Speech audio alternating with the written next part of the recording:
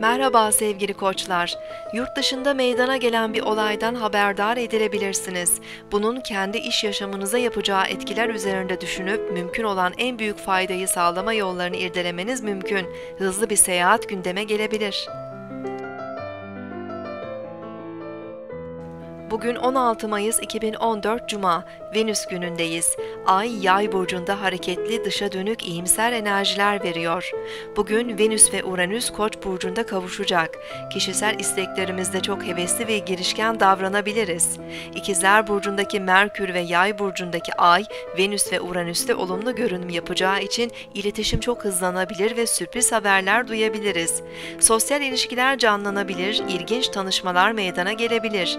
Yeni deneyimlere ve maceralara açık enerjiler hızlı ve heyecanlı ilişkilere dönüşebilir. Seyahatler için çeşitli organizasyonlar yapabiliriz. Ay, Merkürle karşıt açı yapacak ve ardından 10.45'te boşluğa girecek.